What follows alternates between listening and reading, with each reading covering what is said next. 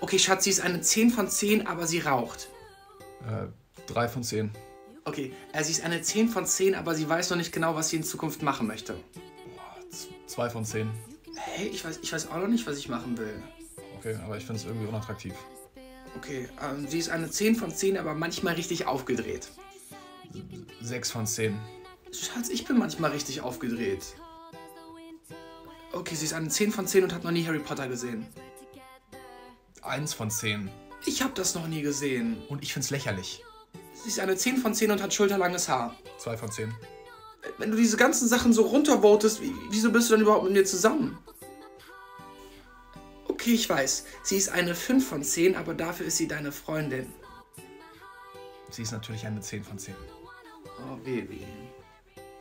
Spaß, 3 von 10.